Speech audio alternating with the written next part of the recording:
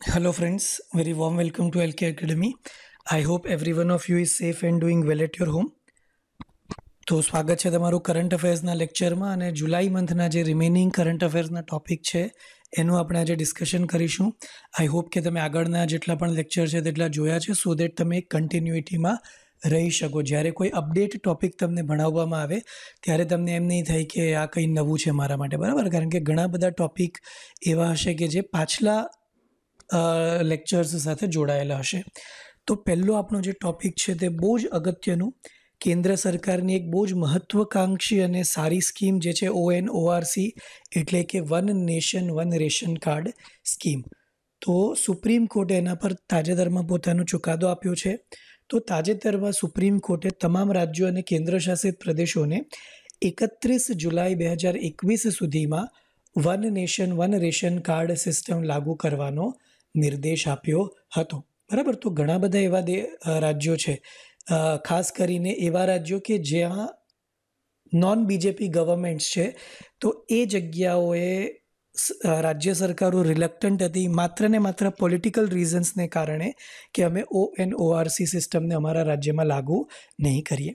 તો આ યોજના એ national national food security act હેઠળ આવરી લેવાયેલા પ્રવાસી મજૂરોને અથવા તો સ્થળાંતર કરતા મજૂરોને દેશના કોઈ પણ ભાગમાં તેમના રાશન કાર્ડ સાથે વ્યાજબી ભાવની દુકાનમાં, એટલે કે ફેર પ્રાઇઝ શોપ જેને આપણે કહીએ, રાશનની દુકાન જેને આપણે કહીએ, તો એ ભોજન એક્સેસ કરવાની મંજૂરી આપે છે. બરાબર? કેન્દ્ર સરકાર દ્વારા જે સબસિડી આપવામાં આવે છે, અત્યાર સુધી તમને એ સબસિડી માત્ર તમારું રાશન કાર્ડ જ્યાં સ્ટેટમાં જારી થયું છે. જે સ્ટેટનું તમને રાશન કાર્ડ આપવામાં આવ્યું છે, ત્યાંથી જ તમે એ સબસિડીનો લાભ લઈ શકતા હતા. પરંતુ હવે કેન્દ્ર સરકારે એવું કરી દીધું છે કે સ્થળાંતર મજૂર, કોઈ એક રાજ્યનો મજૂર જ્યારે બીજા રાજ્યમાં જાય, એને કેન્દ્ર સરકારની અન્ન સબસિડીનો લાભ મળશે. બરાબર? કેમ આવો વિચાર આવ્યો? તો આપણા કોન્સ્ટિટ્યુશનમાં આપણને ખોરાકનો અધિકાર આપવામાં આવેલો છે.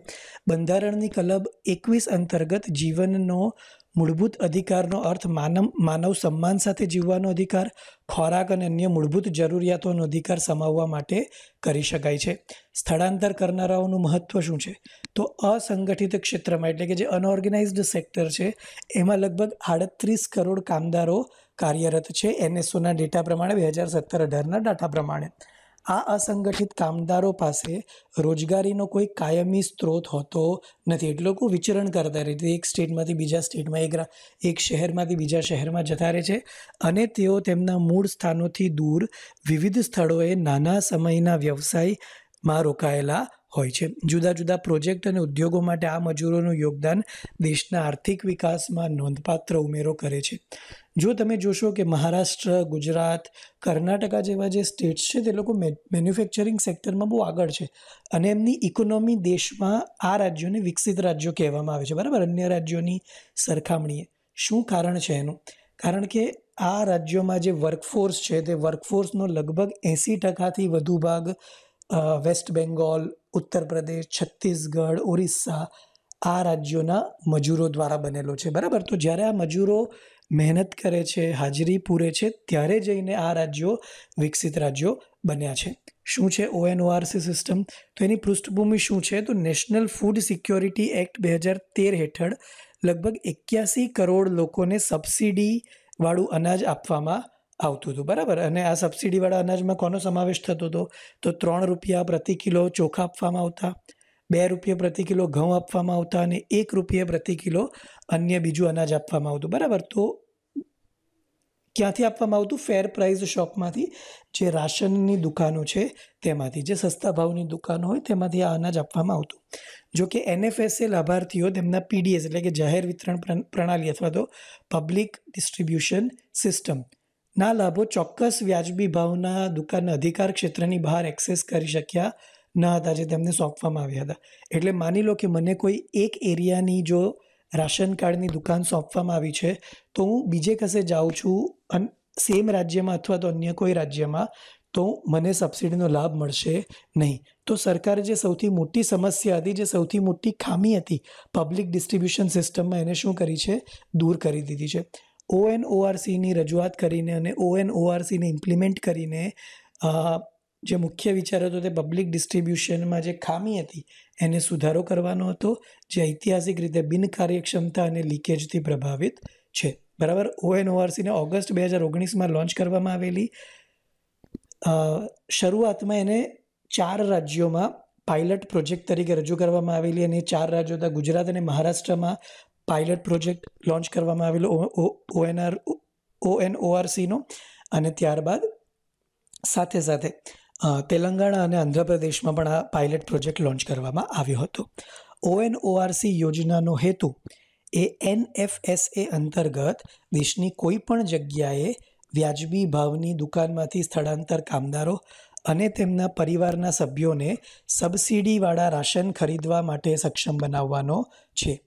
પીડીએસમાં આ સુધારાને પ્રોત્સાહન આપવા માટે સરકારે રાજ્યોને પ્રોત્સાહન પૂરું પાડ્યું છે. અને ગયા વર્ષે કોવિડ નાઇન્ટીન રોગચાળા દરમિયાન રાજ્યો દ્વારા વધારાના ઉધાર માટે પૂર્વ શરત પણ નક્કી કરી છે.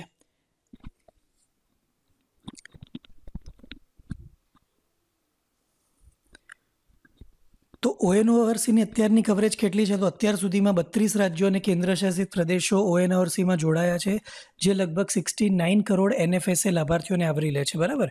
અને જે રાજ્યો છે જે આસામ, છત્તીસગઢ, દિલ્હી અને પશ્ચિમ બંગાળ. તો જુઓ, છત્તીસગઢ, દિલ્હી અને પશ્ચિમ બંગાળ આ ત્રણે ત્રણ નોન બીજેપી રાજ્યો છે. આસામમાં એનઆરસીને લઈને, કારણ કે હજુ લિસ્ટ પ્રિપેર થાય છે, એટલે ઘણા બધા લોકોને પ્રોપર રાશન કાર્ડ મળ્યા નથી. તો આ ચાર રાજ્યો સુધી જોડાયા નથી.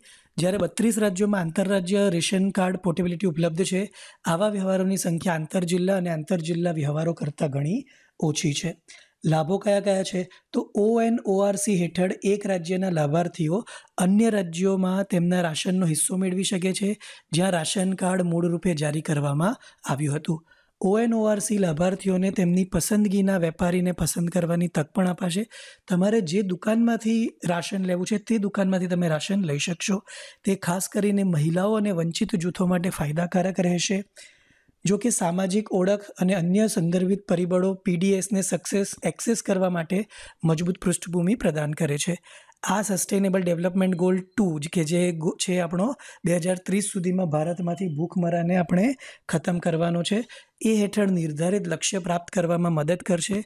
ઉપરાંત ભારતમાં ભૂખની નબળી પરિસ્થિતિને પણ સંબોધશે, જેમ કે ગ્લોબલ હંગર ઇન્ડેક્સ દ્વારા પ્રકાશિત, જ્યાં ભારતને એકસો સાત દેશોમાંથી ચોરાણુંમો ક્રમાંક આપવામાં આવ્યો હતો. તો આપણે આટલા પૈસા ખર્ચ્યા પછી પણ, કેમ કે આપણા દેશમાં વસ્તી વધારે છે, ભ્રષ્ટાચાર છે, એને લીધે છેવાડાના માણસ સુધી અથવા તો જે ખરેખર નીડી માણસ છે તેના સુધી આપણે ખોરાક પહોંચાડી શકતા નથી અને એના કારણે ભૂખમરા ના ક્ષેત્રમાં આપણી આટલી ખરાબ પરિસ્થિતિ છે. એકસો સાત દેશોમાંથી આપણે ચોરાણુંમાં ક્રમે છે. આટલી વિકસતી ઇકોનોમી હોવા છતાં, બરાબર? તો એનાથી અહીંયા ફાયદો મળશે. નેક્સ્ટ જે ટોપિક છે તે ઇકોનોમી સાથે જોડાયેલો છે અને એ છે જીએસટીના ચાર વર્ષ પૂરા થયા છે એક જુલાઈ બે હજાર એકવીસના રોજ. તો તાજેતરમાં central board of indirect tax and customs, CBIC, જીએસટીની ચાર વર્ષની વર્ષગાંઠ નિમિત્તે લગભગ ચોપન હજાર કરદાતાઓને સન્માનિત કરવાનું નક્કી કર્યું છે. શું છે જીએસટી? તો ઘરેલું વપરાશ માટે વેચવામાં આવતા મોટાભાગના માલ અને સેવાઓ પર જીએસટી એ વેલ્યુ એડેડ ટેક્સ છે. જીએસટી ગ્રાહકો દ્વારા ચૂકવવામાં આવે છે. પરંતુ તે માલ અને સેવાઓ વેચતા ઉદ્યોગો દ્વારા સરકારને મોકલવામાં આવે છે. જીએસટી જે લગભગ તમામ સ્થાનિક પરોક્ષ કર, પેટ્રોલિયમ, આલ્કોહોલિક પીણા અને સ્ટેમ્પ ડ્યુટી મુખ્ય અપવાદો છે ને એક હેઠળ સમાવી લે છે. બરાબર? તો પેટ્રોલિયમ, આલ્કોહો, આલ્કોહોલિક પીણા અને સ્ટેમ્પ ડ્યુટી સિવાયના જે તમામ સ્થાનિક કર છે તેને એક જમાં સમાવી લે છે. તે કદાચ સ્વતંત્ર ભારતના ઇતિહાસમાં કરવામાં આવેલો સૌથી મોટો ટેક્સ રિફોર્મ્સ છે. તે એક જુલાઈ બે હજાર સત્તરની મધ્યરાત્રિએ શરૂ કરવામાં આવ્યું હતું. જીએસટીની વિશેષતાઓ શું છે? તો પુરવઠા પર જે માલ અથવા સેવાઓના પુરવઠા પર જે જીએસટી લાગુ પડે છે, જેમ કે માલના ઉત્પાદન અથવા માલના વેચાણ પર અથવા સેવાઓની જોગવાઈ પર જૂના ખ્યાલ સામે. બરાબર? તો પહેલાં શું હતું કે મેન્યુફેક્ચરરે ટેક્સ ચૂકવવો પડતો હતો. હવે મેન્યુફેક્ચરર એ ટેક્સ સીધે સીધો કન્ઝ્યુમર પાસે પણ ચૂકવી શકશે. લક્ષ્ય આધારિત કરવેરા છે કે જીએસટી એ મૂળ આધારિત કરવેરાના સિદ્ધાંતની વિરુદ્ધ ગંતવ્ય આધારિત વપરાશ કરવેરાના સિદ્ધાંત પર આધારિત છે. તમે જેટલું વપરાશ કરો છો એટલો કર તમારે ચૂકવવો પડશે. ડ્યુઅલ જીએસટી શું છે? તો તે કેન્દ્ર અને રાજ્યો સાથે એક સામાન્ય આધાર પર ટેક્સ વસૂલતું ડ્યુઅલ જીએસટી છે. કેન્દ્ર દ્વારા વસૂલવામાં આવનાર જીએસટીને સેન્ટ્રલ જીએસટી કહેવાય છે અને રાજ્યો દ્વારા વસૂલવામાં આવતા જીએસટીને સ્ટેટ જીએસટી કહેવાય છે. બરાબર? અહીંયા છે સીજીએસટી અને એસજીએસટી તરીકે એને વિભાજિત કરવામાં આવેલો છે. માલ અથવા સેવાઓની આયાતને આંતરરાજ્ય પુરવઠો તરીકે ગણવામાં આવશે અને લાગુ કસ્ટમ ડ્યુટી ઉપરાંત ઇન્ટિગ્રેટેડ ગુડ્સ અને સર્વિસ ટેક્સને પણ આધારિત રહેશે. જીએસટી દરો પર પરસ્પર નક્કી કરવામાં આવશે એટલે કે સીજીએસટી એસજીએસટી અને આઈજીએસટી કેન્દ્ર અને રાજ્યો દ્વારા પરસ્પર સંમત થવાના દરે વસૂલવામાં આવે છે. જીએસટી કાઉન્સિલની ભલામણ પર આ દરો સૂચિત કરવામાં આવશે. બરાબર, હવે જીએસટી કાઉન્સિલ શું છે? તો દરેક રાજ્યોના ફિનાન્સ મિનિસ્ટર અથવા તો રાજ્ય સરકાર દ્વારા ચયનિત કોઈ અન્ય મિનિસ્ટર ફિનાન્સ મિનિસ્ટર જે યુનિયન ફિનાન્સ મિનિસ્ટર છે, તેમની ચેરમેનશીપમાં આ બધા ભાવ નક્કી કરશે અને અન્ય જે ફિનાન્શિયલ એક્સપર્ટ છે, તેમના સંલગ્ન થઈને. બહુવિધ દરો છે, બરાબર? એક એક જ કેટેગરી માટે એક જ ટેક્સ લાગવામાં આવશે એવું નથી. અલગ અલગ કેટેગરીને લઈને અલગ અલગ ટેક્સ લગાવવામાં આવશે. તો જીએસટી ચાર દરે વસૂલવામાં આવે છે, basically five percent twelve percent eighteen percent અને twenty eight percent GST council દ્વારા આ બહુવિધ સ્લેબ હેઠળ આવતી વસ્તુઓની સૂચિ તૈયાર કરવામાં આવી છે. આ સોના પરના ટેક્સને અલગ રાખવામાં આવે છે, જે ત્રણ પર્સેન્ટ રાખવામાં આવ્યો છે. અને રફ કિંમતી અને અર્ધ કિંમતી પથ્થરો જે જીએસટી હેઠળ પોઈન્ટ ટ્વેન્ટી ફાઇવના ખાસ દરે મૂકવામાં આવ્યા છે. તો બરાબર ગોલ્ડની ખરીદી પર અલગ જીએસટી લાગશે અન્ય વસ્તુઓની સરખામણીએ. બરાબર જીએસટી કાઉન્સિલ શું છે? તો જીએસટી સંબંધિત મુદ્દાઓ પર કેન્દ્ર અને રાજ્ય સરકારને ભલામણો કરવા માટે તે બંધારણીય સંસ્થા છે. જેની સ્થાપના અનુચ્છેદ ટુ સેવન્ટી નાઇન એ અનુસાર કરવામાં આવી છે. જીએસટી કાઉન્સિલની અધ્યક્ષતા કેન્દ્રીય નાણામંત્રી કરે છે અને અન્ય સભ્યો તરીકે કેન્દ્રીય રાજ્ય મહેસૂલ અથવા નાણામંત્રી અને તમામ રાજ્યોના નાણાં અથવા કરવેરાના પ્રભારી મંત્રી હોય છે. તે એક સંઘીય સંસ્થા તરીકે ગણવામાં આવે છે, જ્યાં કેન્દ્ર અને રાજ્યો બંનેને યોગ્ય પ્રતિનિધિત્વ મળે છે. એટલે કેન્દ્ર પોતાની વાત મૂકી શકે, દરેક રાજ્યો ત્યાં પોતાની વાત મૂકી શકશે. નેક્સ્ટ જે આપણો ટોપિક છે તે છે નિપુણ ભારત મિશન તો જો બેસિકલી જે પ્રી પ્રાઇમરી સેક્શનના વિદ્યાર્થીઓ છે અથવા સ્ટુડન્ટ્સ છે, એ લોકોને સર્વાંગી વિકાસ મળી રહે તે માટે નિપુણ ભારત મિશનની શરૂઆત કરવામાં આવી છે. શિક્ષણ મંત્રાલયે નિપુણ ભારત મિશન શરૂ કરી છે, નિપુણ ભારત યોજના શરૂ કરી છે, જેનું ફૂલ ફોર્મ છે national initiative for proficiency in reading with understanding and numeracy તો જો આપણે આપણે ત્યાં સરકારી શાળાઓમાં શિક્ષણનું જે સ્તર છે તે આપણને ખબર છે છઠ્ઠા ધોરણમાં કે સાતમા ધોરણમાં ભણતા બાળકો પણ સરખી રીતે અંગ્રેજીનો કે ગુજરાતીનો કે કોઈ પણ ભાષાનો પોતાની માતૃભાષાનો એક પેરેગ્રાફ વાંચી શકતા નથી. બરાબર? તો આ સંજોગોમાં એ લોકોની જે રીડિંગ વિથ અન્ડરસ્ટેન્ડિંગની પ્રોફિશિયન્સી છે તે વધે. એમની ક્ષમતા વધે અને સાથે આંકડાઓને ઓળખવાની એમની ક્ષમતા વધે તે માટે નિપુણ ભારત સ્કીમ સ્કીમ લાગુ કરવામાં આવી છે. તેનો ઉદ્દેશ્ય ત્રણથી નવ વર્ષના બાળકોની શીખવાની જરૂરિયાતોને આવરી લેવાનો છે. એનઈપી એ ટ્વેન્ટી ટ્વેન્ટીનો ભાગ છે. આ પહેલ રાષ્ટ્રીય શિક્ષણ નીતિ બે હજાર વીસના ભાગરૂપે શરૂ કરવામાં આવી રહી છે. આ નીતિનો હેતુ દેશમાં શાળા અને ઉચ્ચ શિક્ષણ પ્રણાલીમાં પરિવર્તનકારી સુધારાઓનો માર્ગ મોકળો કરવાનો છે. આ નીતિએ શિક્ષણની ચોત્રીસ વર્ષની જૂની રાષ્ટ્રીય નીતિ નાઇન્ટીન એટી સિક્સને બદલી છે. ઉદ્દેશ્ય શું છે? તો પાયાની સાક્ષરતા અને સંખ્યાના સાર્વત્રિક હસ્તાંતરણને સુનિશ્ચિત કરવા માટે સક્ષમ વાતાવરણ બનાવવું, જેથી દરેક બાળક બે હજાર છવ્વીસથી સત્યાવીસ સુધીમાં ગ્રેડ ત્રણના અંત સુધીમાં વાંચન, લેખન અને અંકશાસ્ત્રમાં ઈચ્છિત શીખવાની ક્ષમતા પ્રાપ્ત કરે. બરાબર? તો આપણી જે નવી શિક્ષા નીતિ છે એમાં આને લાગુ કરવામાં આવ્યું છે, જેથી કરીને જે પાયો છે તે કાચો નહીં રહી જાય. પાયાને જો સ્ટ્રોંગ બનાવવામાં આવશે તો પછીનું જે શિક્ષણ છે તે ઇઝી થશે. ફોકસ વિસ્તારો કયા કયા છે? તો તે શાળાના પાયાના વર્ષોમાં બાળકોને પ્રવેશ અને જાળવી રાખવા પર ધ્યાન કેન્દ્રિત કરશે. જેથી કરીને ડ્રોપઆઉટ રેશિયો જે છે, બાળકોનો તેને ઓછા કરી શકાય.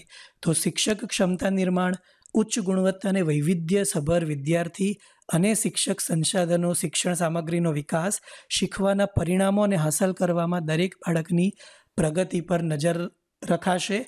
તે એનો મુખ્ય ફોકસ વિસ્તાર હશે. અમલીકરણ કોના દ્વારા કરવામાં આવશે? તો નિપુણ ભારત એ શાળા શિક્ષણ અને સાક્ષરતા વિભાગ દ્વારા અમલમાં મૂકવામાં આવશે. સમગ્ર શિક્ષાની કેન્દ્રીય પ્રાયોજિત યોજનાના નેજા હેઠળ તમામ રાજ્યો અને કેન્દ્રશાસિત પ્રદેશોમાં રાષ્ટ્રીય સ્તરે, ત્યારબાદ રાજ્ય સ્તરે, ત્યારબાદ જિલ્લા સ્તરે, ત્યારબાદ બ્લોક સ્તરે અને ત્યારબાદ શાળા સ્તરે આમ ફાઇવ લેયર અમલીકરણ મિકેનિઝમ બનાવવામાં આવશે. સર્વ શિક્ષા અભિયાન, રાષ્ટ્રીય માધ્યમિક શિક્ષા અભિયાન અને શિક્ષણ, શિક્ષક શિક્ષણ, બરાબર? એટલે કે ટીચર્સ એજ્યુકેશન એમ ત્રણ પ્રવર્તમાન યોજનાઓને અધીન સમગ્ર શિક્ષા કાર્યક્રમ શરૂ કરવામાં આવ્યો હતો. આ યોજનાનો ઉદ્દેશ પ્રી સ્કૂલથી બારમા ધોરણ સુધીના બાળકોને સર્વગ્રાહી, સર્વાંગી વિકાસ આપવાનો છે. એનસીઆરટી દ્વારા નિષ્ઠા પોર્ટલ ઓલરેડી સ્ટાર્ટ કરવામાં આવ્યું છે, એટલે કે national initiative for school heads and teachers holistic advancement કે જે સરકારી શાળાના જે પ્રિન્સિપલ છે અથવા તો હાયર સેકન્ડરીના ટીચર્સ છે સેકન્ડરીના ટીચર્સ છે, એ લોકોના વિકાસ માટે પણ નિષ્ઠા કાર્યક્રમ શરૂ કરવામાં આવ્યો છે. બરાબર? અને ખાસ કરીને ફાઉન્ડેશનલ લિટરસી અને અંકશાસ્ત્ર માટે ખાસ પેકેજ તૈયાર કરવામાં આવી રહ્યું છે. આવનારા થોડા સમયમાં જ નવી શિક્ષા નીતિ અંતર્ગત એનો અમલ કરવામાં આવશે. પૂર્વ પ્રાથમિકથી પ્રાથમિક ધોરણમાં ભણાવતા લગભગ પચીસ લાખ શિક્ષકોને આ વર્ષે એફએલએન પર તાલીમ આપવામાં આવશે. નિષ્ઠા સંકલિત શિક્ષક તાલીમ દ્વારા શાળા શિક્ષણની ગુણવત્તા સુધારવા માટે ક્ષમતા નિર્માણ કાર્યક્રમ છે. પૂર્વ પ્રાથમિક અથવા બાલ વાટિકાના વર્ગોમાંથી તબક્કાવાર લક્ષ્યો નિર્ધારિત કરવામાં આવી રહ્યા છે. ગોલ બેઝડ પ્રિપેરેશન કરાવવામાં આવશે. બરાબર? અને આ રીતના એના મેઇન ડિટેલ્ડ ઓબ્જેક્ટિવ્સ છે. તમે ઈચ્છો તો આ વાંચી શકો. તમારા ઓવરઓલ નિપુણ ભારત સ્કીમને સમજવા માટે આ મુદ્દાઓ તમને મદદ કરશે. જે બેસિક ઓવરવ્યૂ હતો તે આપણે જોઈ લીધું છે. અપેક્ષિત પરિણામો કયા કયા છે? તો પાયાની કુશળતા. બરાબર? જેમ મેં તમને કીધું તેમ કે બેઝ સ્ટ્રોંગ કરવાનો મુખ્ય હેતુ છે પાયાની કુશળતા બાળકોને વર્ગમાં રાખવા માટે સક્ષમ બનાવે છે, જેથી ડ્રોપઆઉટ ઘટે છે અને પ્રાથમિકથી ઉચ્ચ પ્રાથમિક અને માધ્યમિક તબક્કામાં સંક્રમણ દર સુધરે છે. પ્રવૃત્તિ આધારિત શિક્ષણ અને અનુકૂળ શિક્ષણ વાતાવરણ શિક્ષણની ગુણવત્તામાં સુધારો કરશે. રમકડા આધારિત અને પ્રાયોગિક શિક્ષણ જેવી નવીન શિક્ષણશાસ્ત્રનો ઉપયોગ વર્ગખંડના વ્યવહારોમાં કરવામાં આવશે, જેથી શિક્ષણને આનંદદાયક અને આકર્ષક પ્રવૃત્તિ બનાવવામાં આવશે. શિક્ષકોની સઘન ક્ષમતા નિર્માણ તેમને સશક્ત બનાવશે અને શિક્ષણશાસ્ત્ર પસંદ કરવા માટે વધારે સ્વાયત્તતા આપશે. ભૌતિક અને મોટર વિકાસ, સામાજિક ભાવનાત્મક વિકાસ, સાક્ષરતા અને અંકશાસ્ત્ર વિકાસ નોલેજેબલ વિકાસ, બરાબર? તો જ્ઞાનવર્ધક વિકાસ જે થવો જોઈએ, જીવન કૌશલ્ય વગેરે જેવા વિકાસના વિવિધ ક્ષેત્રોમાં ધ્યાન કેન્દ્રિત કરીને બાળકનો સર્વાંગી વિકાસ, જે પરસ્પર સંબંધિત અને પરસ્પર આધારિત છે, જે એક સાકલ્યવાદી પ્રગતિ કાળમાં પ્રતિબિંબિત થશે. લગભગ દરેક બાળક પ્રારંભિક ધોરણમાં ભણે છે. તેથી તે તબક્કાના ધ્યાનમાં રાખીને સામાજિક, આર્થિક ગેરફાયદાવાળા જૂથને પણ લાભ થશે. જે લોકો સોશિયલ ઇકોનોમિકલી બેકવર્ડ છે, તે લોકોને પણ ફાયદો થશે. કારણ કે પ્રારંભિક શિક્ષણ તો લગભગ બધા જ સ્ટાર્ટ કરે છે. ઇવન એ લોકો ડ્રોપ આઉટ કરે પણ છે. પહેલો ગોલ એ હશે કે ડ્રોપ આઉટ નહીં કરે. ઇવન ડ્રોપ આઉટ કરે છે તો એ લોકોને જે બેસિક નોલેજ છે તેટલું તો એ લોકોને મળવું જ જોઈએ. બરાબર? નેક્સ્ટ જે આપણો ટોપિક છે તે હેલ્થને લઈને છે અને એ છે મલેરિયા ફ્રી ચાઇના તો તાજેતરમાં વર્લ્ડ હેલ્થ ઓર્ગેનાઇઝેશને ચીનને મલેરિયા મુક્ત જાહેર કર્યું છે. તે સાત દાયકા લાંબી બહુપક્ષીય આરોગ્ય વ્યૂહરચનાનું પરિણામ છે, જે સતત ચાર વર્ષ સુધી સ્વદેશી કેસોને સંપૂર્ણપણે દૂર કરવામાં સક્ષમ હતી બરાબર? તો તાજેતરમાં જ ડબ્લ્યુએચઓ દ્વારા ચીનને મલેરિયા ફ્રી જાહેર કરવામાં આવ્યું છે. એનો મતલબ એ કે મલેરિયા સતત ચાર વર્ષ સુધી ત્યાં મલેરિયાના જે કેસીસ, જે વધારે સંખ્યામાં નોંધાતા હતા, તે ઓછા થયા છે. અને ડબ્લ્યુએચઓને એ આશ્વાસન આપવામાં આવ્યું છે કે ભાઈ, આવનારા સમયમાં પણ ચાઇના પાસે એવું ઇન્ફ્રાસ્ટ્રક્ચર છે કે જે મલેરિયાના કેસોને કે, કેસ સામે લડી શકશે. તો મલેરિયા મુક્ત સ્થિતિ શું છે? અને કઈ રીતના સર્ટિફિકેશન આપવામાં આવે છે ડબ્લ્યુએચઓ તરફથી? તો મલેરિયા નાબૂદીનું પ્રમાણપત્ર એ ડબ્લ્યુએચઓ દ્વારા દેશના મલેરિયા મુક્ત દરજ્જાની સત્તાવાર માન્યતા છે. બરાબર? ડબ્લ્યુએચઓ પ્રમાણપત્ર ત્યારે આપે છે જ્યારે કોઈ દેશે સખત વિશ્વસનીય પુરાવા સાથે દર્શાવ્યું છે કે એનાફિલિસ મચ્છરો દ્વારા સ્વદેશી મેલેરિયા ટ્રાન્સમિશનની સાંકળ ઓછામાં ઓછા છેલ્લા ત્રણ વર્ષથી દેશભરમાં વિક્ષેપિત થઈ છે. એક દેશે ટ્રાન્સમિશનની પુનઃસ્થાપના અટકાવવાની ક્ષમતા પણ દર્શાવવી જોઈએ. સ્વતંત્ર મેલેરિયા એલિમિનેશન સર્ટિફિકેશન પેનલ એટલે કે એમઈસીપીની ભલામણના આધારે મેલેરિયા મુક્તપણે મેલેરિયા મુક્ત પ્રમાણપત્ર આપવાનો અંતિમ નિર્ણય ડબ્લ્યુએચઓના ડિરેક્ટર જનરલનો છે. બરાબર? તો એવું નથી કે આજે તમે ઝીરો કેસ છે, માની લો તમારે ત્યાં એટલે ડબ્લ્યુએચઓ તમને આપી દીધું. સતત ચાર વર્ષ, ત્રણ વર્ષનો તો ક્રાઇટેરિયા છે. ચાઇનાએ સતત ચાર વર્ષ સુધી ડબ્લ્યુએચઓના ક્રાઇટેરિયા ક્રાઇટેરિયાનું પાલન કર્યું છે. આ ઉપરાંત, આવનારા ફ્યુચર માટે પણ ચાઇનાએ એ પ્રતિબદ્ધતા દર્શાવી છે કે ભાઈ અમે મલેરિયા સામે લડી શકીશું.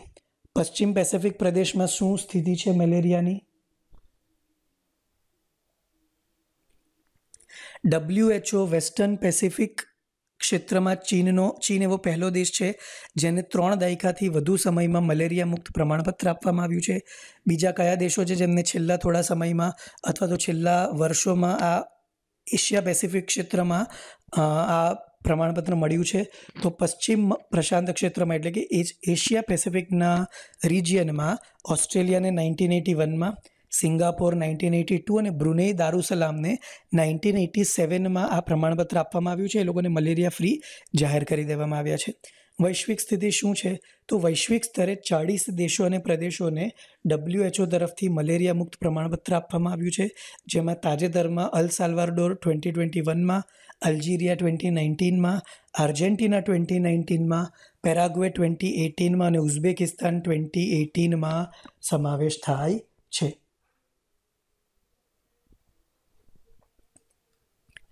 મલેરિયા અંગે શું છે? તો malaria is a life threatening mosquito borne disease caused by plasmodium parasite anopheles માદા મચ્છર દ્વારા ફેરા, ફેલાતો આ રોગ છે.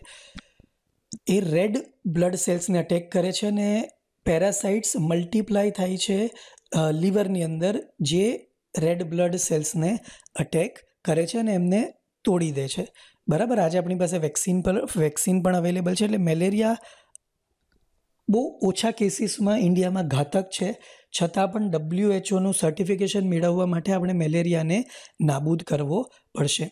ડબ્લ્યુએચઓની તાજેતરની પહેલ શું છે? તો ડબ્લ્યુએચઓએ તેની ઈ ટ્વેન્ટી ફાઇવ પહેલ હેઠળ બે હજાર પચીસ સુધીમાં મેલેરિયાને નાબૂદ કરવાની સંભાવના ધરાવતા પચીસ દેશોની ઓળખ કરી છે. ભારતમાં મેલેરિયાને કાબૂમાં લેવા માટેની શું પહેલ છે? તો ભારતમાં મેલેરિયા નાબૂદીના પ્રયાસો બે હજાર પંદરમાં શરૂ કરવામાં આવ્યા છે અને બે હજાર સોળમાં આરોગ્ય અને કુટુંબ કલ્યાણ મંત્રાલય દ્વારા national framework for malaria elimination launch કર્યા બાદ તેને વધુ તીવ્ર બનાવવામાં આવ્યું છે. તકનીકી વ્યૂહરચના દ્વારા બે હજાર સોળથી બે હજાર ત્રીસ સુધીનો આપણો ટાર્ગેટ છે કે ભાઈ આપણે પંદર વર્ષોમાં we will be able to eliminate malaria જે ડબ્લ્યુએચઓ ગ્લોબલ મલેરિયા પ્રોગ્રામને માર્ગદર્શન આપે છે અને જે મેલેરિયાને નિયંત્રિત અને દૂર કરવા માટે ડબ્લ્યુએચઓના વૈશ્વિક પ્રયાસોનું સંકલન કરવા માટે જવાબદાર છે. મલેરિયા નાબૂદી માટેની રાષ્ટ્રીય વ્યૂહાત્મક યોજના જુલાઈ બે હજાર સત્તરમાં શરૂ કરવામાં આવી હતી અને પાંચ વર્ષ માટે વ્યૂહરચના નક્કી કરવામાં આવેલી. તો એવા એરિયાઓ ડિસાઇડ કરવામાં આવેલા કે ભાઈ જ્યાં મેલેરિયા વધારે છે. બરાબર? અથવા તો જ્યાં મેલેરિયાના કેસો વર્ષ દરમિયાન, એક ચોક્કસ સમય દરમિયાન વર્ષમાં ઉપર આવી જાય છે. તો પહેલાં ત્યાંથી એલિમિનેટ કરવામાં આવશે. પહેલાં જે હાર્ડ ટાસ્ક છે તેને પકડવામાં આવશે. તો તે મેલેરિયાની સ્થાનિકતાના આધારે દેશના વિવિધ ભાગોમાં વર્ષવાર નાબૂદીના લક્ષ્યો આપે છે. High burden to high impact પહેલનો અમલ જુલાઈ બે હજાર ઓગણીસમાં ચાર રાજ્યો, પશ્ચિમ બંગાળ, ઝારખંડ, છત્તીસગઢ અને મધ્યપ્રદેશમાં શરૂ કરવામાં આવ્યો હતો. હાઈ બર્ડન વિસ્તારોમાં લાંબા સમય સુધી ચાલતી જંતુનાશક જાળીનું વિતરણ તથા અત્યંત સ્થાનિક રાજ્યોમાં સ્થાનિકતામાં ઘટાડો તરફ દોરી ગયું છે. તો જ્યાં જ્યાં ગ્રાઉન્ડ લેવલ પર સ્ટેપ્સ કરવામાં આવ્યા છે આ પ્રકારના high burden to high impact વિસ્તારોમાં, તો ત્યાં મેલેરિયાનું પ્રમાણ આપણને ઘટતું જોવા મળ્યું છે. Indian council of medical રિસર્ચે malaria elimination research alliance India એટલે કે મેરા ઇન્ડિયા કેમ્પેનની સ્થાપના કરી છે, જે મેલેરિયા નિયંત્રણ પર કામ કરતા ભાગીદારોનું સંગઠન છે. જેટલી પણ એજન્સીઝ મેલેરિયા એલિમિનેશન માટે કાર્ય કરે છે, એ લોકોને અહીંયા સાથે લાવવામાં આવશે. નેક્સ્ટ જે આપણો ટોપિક છે તે તાજેતરમાં થયેલું જે કેબિનેટ રિશફલ છે, બરાબર? જેને સૌથી મોટું કેબિનેટ રિશફલ માનવામાં આવે છે. કેબિનેટના મંત્રાલયોમાં ફેરબદલ કરવામાં આવ્યા છે, તો એને લઈને છે.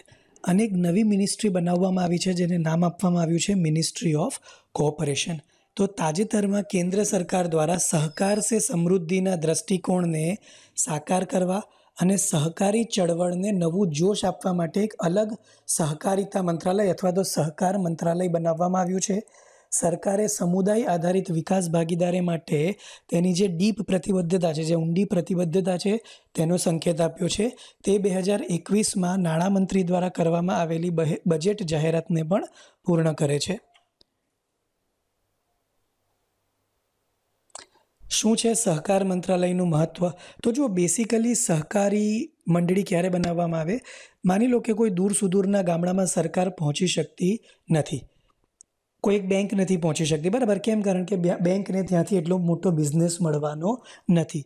તો આ સંજોગોમાં કોઈ એક નાનકડા ગામની આસપાસના લોકો, પાંચ, સાત, દસ ગામના લોકો જ્યારે પોતાના કોમન ગોલને પહોંચવા માટે કોમન ભલે સાંસ્કૃતિક હોય ઇકોનોમિક હોય, ક્ષેત્રીય હોય, પોતાના કોમન ધ્યેયને પહોંચવા માટે જે મંડળીની રચના અથવા તો જે સંસ્થાની રચના કરે તેને સહકારી મંડળી અથવા તો સહકારી એજન્સી કહેવાશે.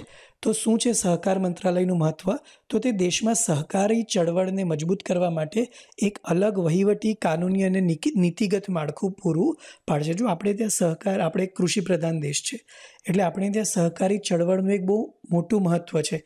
જ્યારે આપણે નવા નવા આઝાદ થયા, ત્યારે આપણે ત્યાં સહકારી એજન્સીઝને લીધે આપણી ઇકોનોમીનો પાયો નખાયેલો. તે એક સાચા લોકો આધારિત આંદોલન તરીકે સહકારીને પહોંચવામાં મદદ કરશે. તે સહકાર સહકાર માટે ઇઝ ઓફ ડુઈંગ બિઝનેસ સહકારી ક્ષેત્ર માટે ઇઝ ઓફ ડુઈંગ બિઝનેસ માટેની પ્રક્રિયાઓને સુવ્યવસ્થિત કરવા અને મલ્ટી સ્ટેટ કોઓપરેટિવ્સના વિકાસને સક્ષમ બનાવશે. તો અત્યારે જે મલ્ટી સ્ટેટ કોઓપરેટિવ્સ છે તે બહુ ઓછી છે. સહકારી મંત્રાલયના નિર્માણ દ્વારા જે મલ્ટી સ્ટેટ કોઓપરેટિવ્સ છે, તેનો વિકાસ થશે. શું છે સહકારી યોજના અથવા તો સહકારી સંસ્થા? તો ઇન્ટરનેશનલ લેબ લેબર ઓર્ગેનાઇઝેશન એટલે કે આઈએલઓ જેનું ભારત બે વર્ષ માટે અત્યારે ચેરમેન છે. તો આઈએલઓની વ્યાખ્યા અનુસાર સહકારી વ્યક્તિઓ એક સ્વાયત્ત સંગઠન છે. જે સંયુક્ત માલિકી અને લોકશાહી રીતે નિયંત્રિત સાહસ દ્વારા તેમના સામાન્ય આર્થિક, સામાજિક અને સાંસ્કૃતિક જરૂરિયાતો તથા આકાંક્ષાઓને પૂરી કરવા માટે સ્વૈચ્છિક રીતે ભેગા થાય છે. ગ્રાહક સહકારી મંડળી, ઉત્પાદક સહકારી મંડળી, ધિરાણ સહકારી મંડળી, હાઉસિંગ સહકારી મંડળી અને માર્કેટિંગ સહકારી મંડળી અલગ અલગ સહકારી સંસ્થાઓના ઉદાહરણ છે. સંયુક્ત રાષ્ટ્ર મહાસભાએ વર્ષ બે હજારને આંતરરાષ્ટ્રીય સહકારી વર્ષ તરીકે જાહેર કર્યું હતું. ભારત એક કૃષિ પ્રધાન દેશ છે અને વિશ્વની સૌથી મોટી સહકારી ચળવળનો પાયો ભારતમાં નખાયેલો છે. ભારતમાં સહકારી આધારિત આર્થિક વિકાસ મોડેલ ખૂબ સુસંગત છે, જ્યાં દરેક સભ્ય જવાબદારીની ભાવના સાથે કામ કરે છે. બરાબર? તો એક નાનકડો ટોપિક હતો, જેના વિશે આપણે વાત કરવાની હતી. નેક્સ્ટ જે ટોપિક છે તે ગુજરાત સાથે જોડાયેલો છે અને એ છે ગુજરાતના ભાલિયા ઘઉંની એક ખેપ, એક જે કન્ટેનર છે તેને ક્યાં મોકલવામાં આવ્યું છે? એક મોટી ખેપ વિદેશોમાં મોકલવામાં આવી છે. અને કેમ ભાલિયા ઘઉં આપણા માટે જરૂરી છે? કારણ કે ગુજરાતના ભાલિયા ઘઉંને જીઆઈ સર્ટિફા સર્ટિફિકેશન મળેલું છે. જિયોગ્રાફિકલ ઇન્ડિકેશનનું સર્ટિફિકેશન મળેલું છે. તો તાજેતરમાં ભૌગોલિક સંકેત એટલે કે જિયોગ્રાફિકલ ઇન્ડિકેશન પ્રમાણિત ભાલિયા જાતના ઘઉંની પ્રથમ શિપમેન્ટ ગુજરાતમાંથી કેન્યા અને શ્રીલંકામાં નિકાસ કરવામાં આવી છે. બરાબર, શું છે ભાલિયા ઘઉં શું છે જ્યોગ્રાફિકલ ઇન્ડિકેશન તેના વિશે આપણે સમજવાનું છે. તો ભાલિયા ઘઉંની ક્યારે જી જીઆઈ પ્રમાણપત્ર પ્રાપ્ત થયેલું? જીઆઈ સર્ટિફિકેશન જુલાઈ બે હજાર અગિયારમાં જીઆઈ સર્ટિફિકેશન પ્રાપ્ત થયેલું. આ ઘઉંમાં ઉચ્ચ પ્રોટીન સામગ્રી છે અને તે સ્વાદમાં મીઠા છે. આ પાક મોટેભાગે ગુજરાતના ભાલ પ્રદેશમાં ઉગાડવામાં આવે છે અને ભાલ પ્રદેશમાં કયા કયા જિલ્લાઓનો સમાવેશ થાય છે? તો આ જિલ્લાઓમાં અમદાવાદ, આણંદ, ખેડા ભાવનગર, સુરેન્દ્રનગર અને ભરૂચ સામેલ છે. આ વિવિધતા સિંચાઈ વગર વરસાદ આધારિત સ્થિતિમાં ઉગાડવામાં આવે છે. બહુ મોટી મોટી સિંચાઈ યોજનાની જરૂર નથી અથવા તો સિંચાઈ વ્યવસ્થાઓની જરૂર નથી. વરસાદનું પાણી આ ઘઉંના પાક માટે ઇનફ છે. ગુજરાતના અન્ય એવા કયા ઉત્પાદનો છે કે જે લોકોને જિયોગ્રાફિકલ ઇન્ડિકેશનનો ટેગ મળેલો છે? તો પેથાપુરના લાકડાના પ્રિન્ટિંગ બ્લોક છે. સંખેડામાં બનાવેલ ફર્નિચર, ખંભાતના એગેટ્સ, કચ્છનું ભરતકામ, સુરતની જરી હસ્તકલા, પાટણના પટોળા અને જામનગરની બાંધણી તથા ગીરની કેસર કેરીને જ્યોગ્રાફિકલ ઇન્ડિકેશનનો ટેગ મળેલો છે. જો જોગ્રાફિકલ ઇન્ડિકેશનનો ટેગ એટલે બેસિકલી શું છે? કે કોઈ એક ચોક્કસ વિસ્તારમાં કોઈ એક ચોક્કસ વસ્તુનું ઉત્પાદન થતું હોય બરાબર. એને નેશનલ લેવલ પર અને આંતરરાષ્ટ્રીય સ્તરે ઓળખ આપવા માટે, જેથી કરીને એનું એક્સપોર્ટ બિઝનેસ જે છે તે વધી શકે. બરાબર? અને લોકલ ઇકોનોમીને ફાયદો થઈ શકે તે હેતુથી જ્યોગ્રાફિકલ ઇન્ડિકેશન ટેગ આપવામાં આવે છે. જીઆઈ એક સંકેત છે જેનો ઉપયોગ ચોક્કસ ભૌગોલિક પ્રદેશમાંથી ઉદ્ભવતા વિશિષ્ટ લક્ષણો ધરાવતા માલને ઓળખવા માટે થાય છે. તેનો ઉપયોગ કૃષિ, કુદરતી અને ઉત્પાદિત માલ માટે થાય છે. ભૌગોલિક સંકેતો નોંધણી અને રક્ષણ અધિનિયમ ઓગણીસો નવ્વાણું ભારતમાં માલ સંબંધિત ભૌગોલિક સંકેતોની નોંધણી અને વધુ સારી સુરક્ષા માટે પ્રદાન કરે છે. આ કાયદો controller general of patents, designs અને ટ્રેડમાર્ક દ્વારા સંચાલિત થઈ છે, જે ભૌગોલિક સંકેતોના રજિસ્ટ્રાર છે અને જીઆઈની જે રજિસ્ટ્રી આવેલી છે તે ક્યાં આવેલી છે? ભારતમાં, ચેન્નાઈ ખાતે આવેલી છે.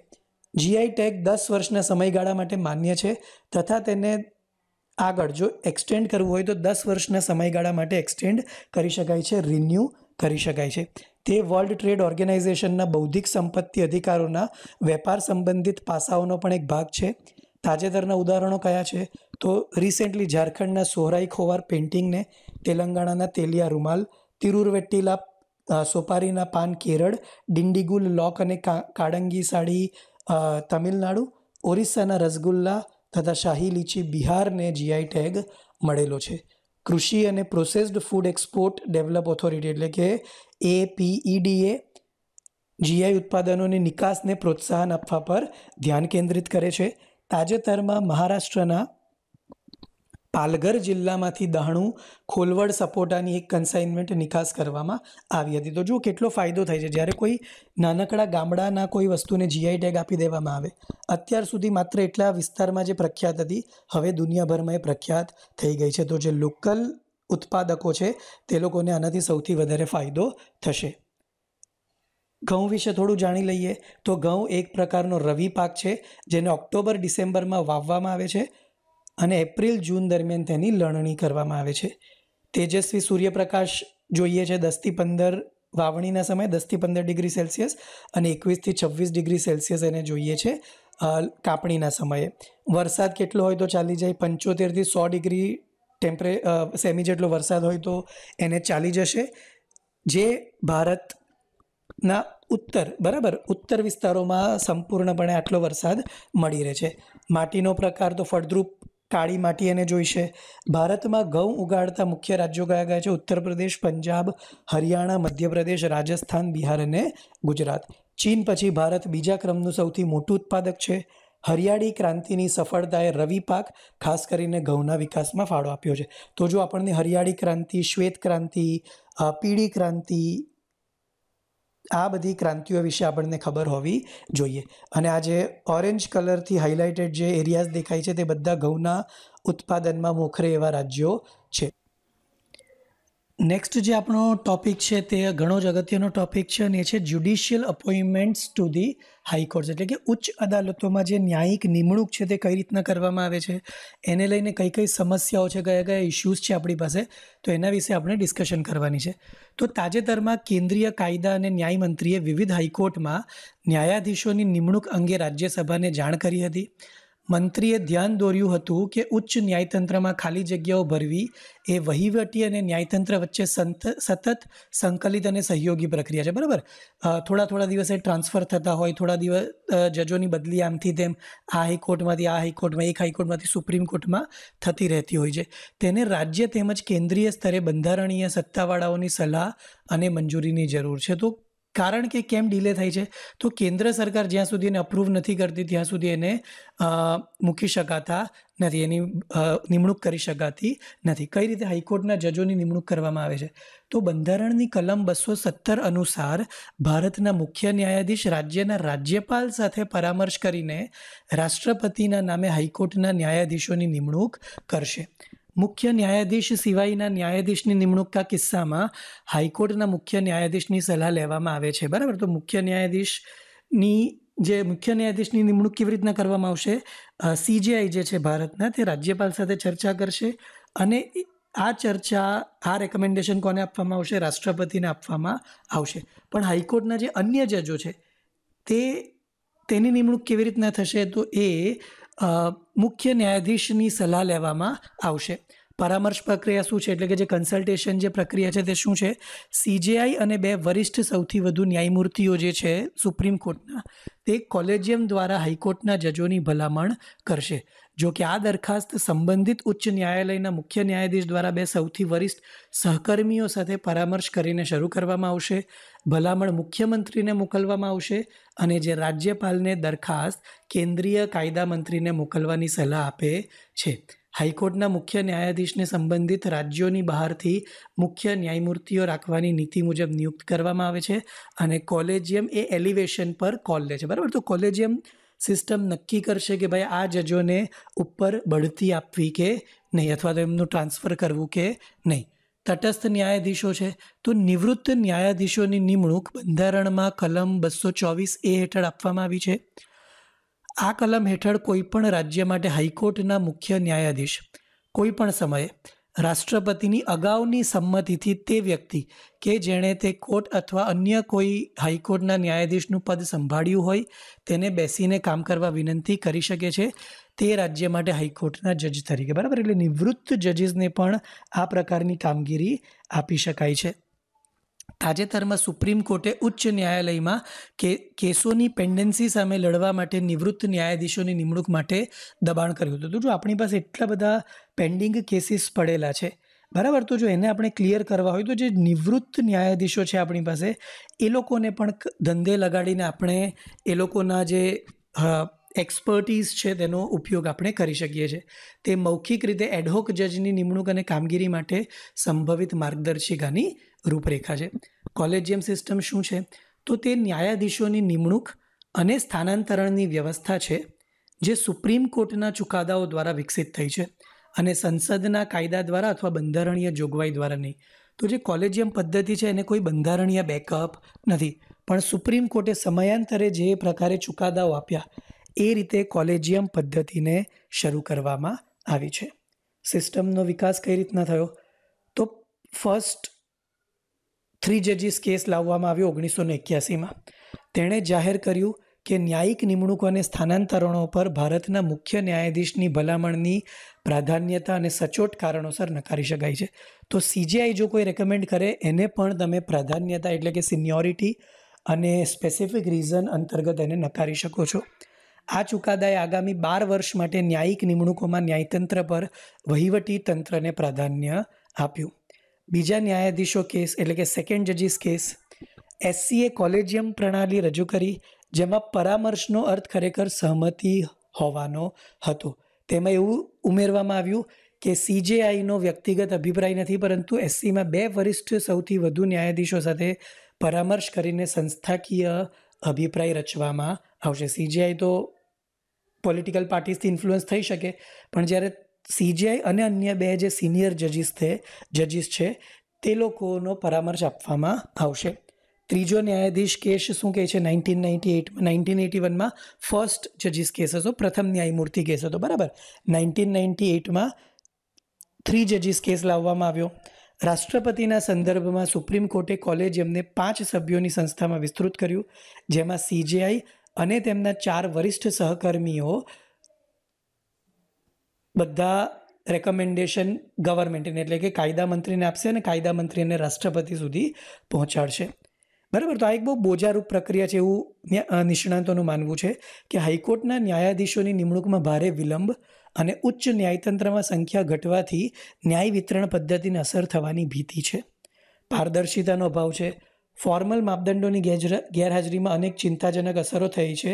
હાલમાં કોલેજિયમ દ્વારા ભલામણ કરાયેલા ન્યાયાધીશના હિતોનો કોઈ સંઘર્ષ હોય તો તપાસ કરવા માટે કોઈ રચનાત્મક પ્રક્રિયા નથી. અયોગ્ય પ્રતિનિધિત્વ છે. કોલેજિયમ સિસ્ટમ માળખાકીય રીતે સમાજના ચોક્કસ વર્ગોની તરફેણ કરે છે અને તે વસ્તીના પ્રતિનિધિ પ્ર- પ્રતિનિધિ તરીકે દૂર છે, જેના માટે તે ન્યાય આપવા માંગે છે.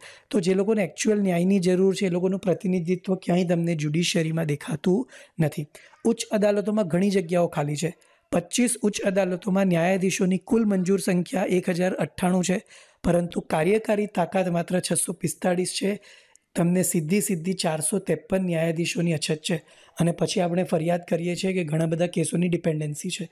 તો જ્યારે ચારસો ત્રેપન જજીસ તો કામ જ નથી કરતા અથવા તો એ લોકોની નિમણૂક જ નથી, ત્યારે કેસોની જે પેન્ડિંગ કેસો છે તે હંમેશા વધતા જવાના છે. કેસોની ઊંચી પેન્ડન્સી તો વિવિધ સ્તરે ભારતની ઘણી અદાલતોમાં કેસોની કુલ પેન્ડન્સી આશરે ત્રણ પોઈન્ટ સાત કરોડ જેટલી છે. જેથી વધુ સારી અને સુધારેલી ન્યાયિક વ્યવસ્થાની માંગમાં વધારો થાય છે. સુધારાના પ્રયાસો કરવામાં આવ્યા છે. તો નવ્વાણુંમાં બંધારણીય સુધારો અધિનિયમ બે હજાર ચૌદ દ્વારા રાષ્ટ્રીય ન્યાયિક નિમણૂક આયોગ એટલે કે એનજીએસી દ્વારા કોલેજિયમને બદલવાનો પ્રયાસ કરવામાં આવ્યો હતો. એનજીએસીએ હાઈકોર્ટ અને સુપ્રીમ કોર્ટના ન્યાયાધીશો અને મુખ્ય ન્યાયાધીશોની નિમણૂકને વધુ પારદર્શક બનાવવાનો પ્રસ્તાવ મૂક્યો હતો. તેઓ કમિશન દ્વારા પસંદ કરવામાં આવશે, જેના સભ્યો ન્યાયતંત્ર, વિધાનસભા અને નાગરિક સમાજમાંથી લેવામાં આવશે. બરાબર? તો કોલેજ એમને જુઓ કઈ રીતના બદલવાનો પ્રયાસ કરવામાં આવ્યો છે, જે એક્ઝિસ્ટિંગ સિસ્ટમ છે તેને. સુપ્રીમ કોર્ટની બંધારણીય ખંડપીઠે બે હજાર પંદરમાં એન જે એસીને ગેરબંધારણીય જાહેર કરી હતી, કારણ કે તે ભારતના બંધારણના મૂળભૂત માળખાનું ઉલ્લંઘન કરે છે અને તે ભારતના ન્યાયતંત્રની સ્વતંત્રતા સામે ખતરો હતો. તો એનજીએસીને શું કરી દેવામાં આવી? બરખાસ્ત કરી દેવામાં આવી છે. બરાબર? તો આ તો તમારો આજનો ટોપિક આઈ હોપ કે તમને દરેક ટૉપિકમાં સમજણ પડી છે. જો કોઈ ટોપિકમાં ઇશ્યુ હોય તો તમે અમારો સંપર્ક કરી શકો છો. ત્યાં સુધી સ્ટે હોમ સ્ટે સેફ